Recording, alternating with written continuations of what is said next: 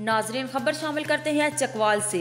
अलरजा welfare foundation Chakwal का 900 गरीब और मुस्तक घरानों में रमज़ान पैकेज तकसीम किया। अलरजा वेलफेयर फाउंडेशन पिछले चार सालों से इस सिलसिले को जारी रखे हुए हैं। मज़ीद जानते हैं हमारे रिपोर्टर राजा साकिब अब्बास चकवाल की इस रिपोर्ट से।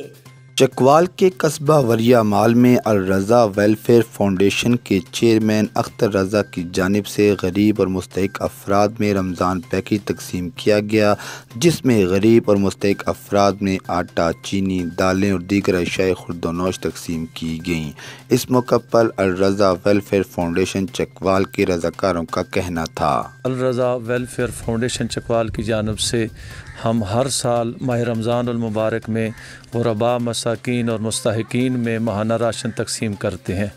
और चेयरमैन जनाब अख्तर रज़ा साहब की तरफ़ से बग़ैर किसी की मदद से उनके अपने ज़ाती पैसे में से हम जितने अपने गाँव में फोर्टी सेवन विलेज़ में हमने जा के वहाँ पर सर्वे किया और फिर वहाँ लिस्टें बना के फिर उन तक हमारे लोग जाके राशन माहाना पहुँचा के आते हैं।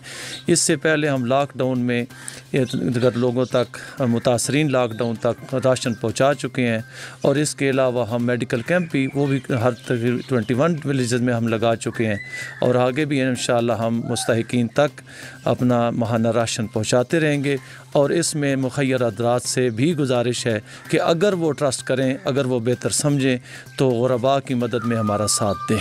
रज़ा वेलफेयर फाउंडेशन चकवाल पिछले चार सालों से चकवाल के मुख्तलिफ़ देहातों में फ्री मेडिकल कैंप का इनका भी कर चुका है और अब तक पाँच हज़ार से जायद घरों में राशन भी तकसीम कर चुका है।